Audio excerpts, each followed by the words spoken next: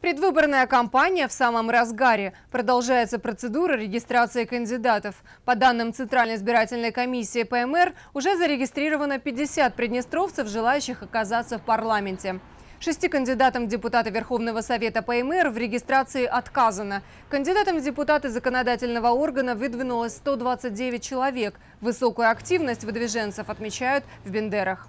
Что касается выборов по городу Бендеры, то э, на настоящее время окружными избирательными комисс- комиссиями по выборам депутатов Бендерского горсовета всего лишь три раза было отказано кандидатам в регистрации. При этом из этих троих двое повторно выдвинулись и уже зарегистрированы.